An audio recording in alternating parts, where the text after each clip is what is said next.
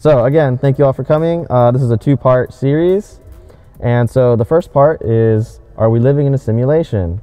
So, and this is part of AQ Adaptive Intelligence, which is our group Thinking Thursdays, and I am your host, Gabriel Casetta. So, the Toltec believed that life is a dream. So the Toltec was an was an ancient uh, tribe in uh, South America, and uh, so they believe that life is a dream and that we're always dreaming even when we're awake. We are starring in our own movie and we're following a script that we write ourselves. And all those around us are starring in their own movie based on their concepts of the world.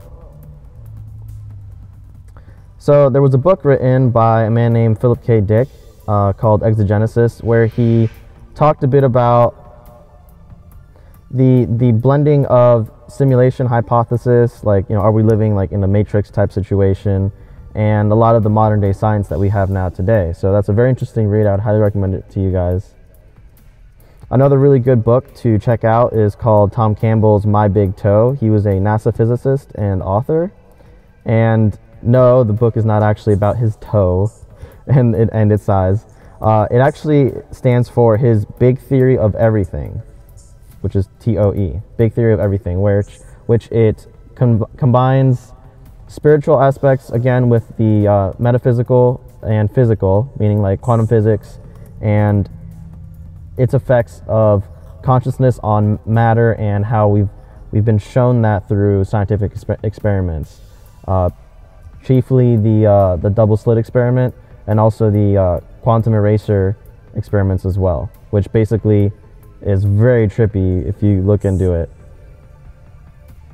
So part of part of the reason why I started investigating this is because there's a lot of things that don't really seem to make sense when you when you combine it with science or if you were to leave science and religion apart it doesn't make sense but if you actually put them together with uh, quantum physics his uh, joseph campbell's ideas of his big theory of everything would actually put those together in a way that makes sense.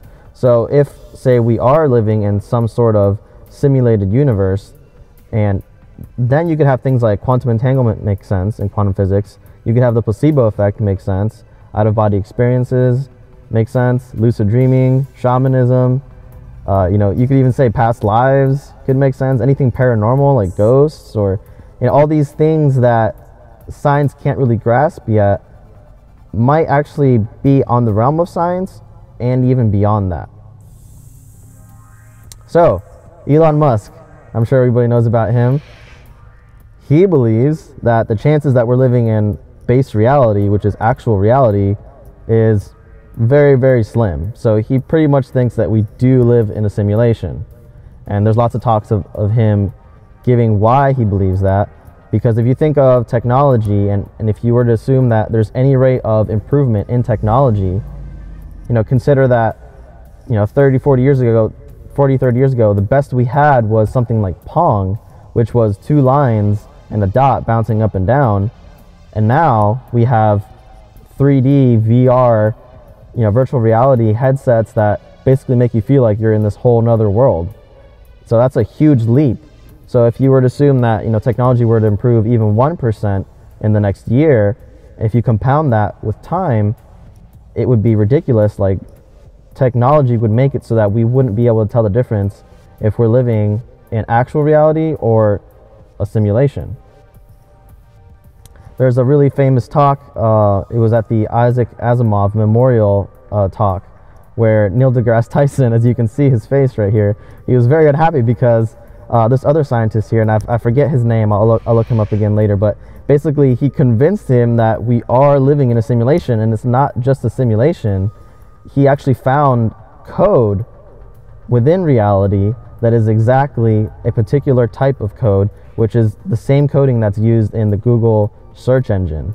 So that kind of blew Neil deGrasse Tyson's mind, and it's really funny if you watch that interview to uh, to see him have his mind blown. He really he's very uh, emotive in that in that talk. So if we are living in a simulation, there's a lot of weird rules that we kind of go by, but we're all kind of living in our own little simulated world.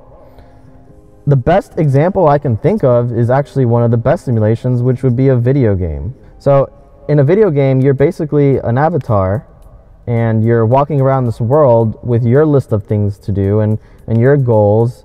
And if you think of it as like an online video game where you can combine lots of players together, that that that lends to a very interesting scenario because that's kind of how our reality works. I mean, we're all kind of doing our own thing and we all have our own goals. But then so does everybody else and we're just kind of like going through these different motions, you know, going on, you know, quests, which is like going to work to get money, which would be like, you know, whatever currency is in any video game. And then we have our challenges and obstacles. Of course, we don't have any dragons, which is a shame, but um, who knows? You know, we might have some kind of like alien life form somewhere in our universe and not know about it. So, very interesting concept to think about. Uh, so, going back to quantum physics, uh, one of the reasons that really gives validity to this whole idea of that we're kind of in a in a simulation of some sort is in quantum physics when you look at a light particle or a photon you it's it's difficult to tell if it's just the particle or if it's a wave function. And you don't really know what it's doing until you look at it. So the very act of looking at it will influence the result so if you're not looking at it, you'll see a wave patterning happening, which basically is every possible possibility happening when you're not looking at something. But then when you look at it, you'll get a patterning of just a particle. So that means you, by looking, collapse the wave function. You literally render reality, which is very similar to when you're in a video game and you're walking around, you know, if you were to see a tree on the right hand side, if you were to turn left, that tree would disappear from your line of sight. But what's really going on in the computer is that it's just being unrendered. But if you look back to it, it'll render it again because the computer knows where your line of focus is. So this idea actually really spooked out Albert Einstein and actually, a lot of things in quantum physics spooked him out. That's why he struggled to accept it for the longest time. Um, but there were a lot of other physicists that were able to come to terms with that. So, if what we look at affects things, just like in a video game, how would we not know, or how would we know if we are or are not in a simulation? And again, I use the MMORPG example of you know you're this little avatar in your in your own life. You know you're walking around you're doing these things. But sometimes when you look in the mirror it's like is that all i am? Surely there's more. You know i'm not just some avatar or am i?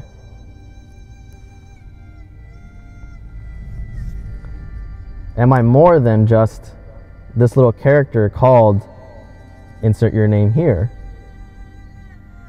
Is it possible that we are living in a simulation? And is it possible if we are living in a simulation, are we actually, is actual reality somewhere in the future? So are we living in the future right now? That's a very interesting idea to think about, especially if we consider that, you know, technology has been improving. And if it continues to improve, we might actually be in the future, not know it, and then maybe one day we'll just wake up and realize, hey, that was a pretty cool game that we just played and we thought it was our lives. Very interesting ideas to think about.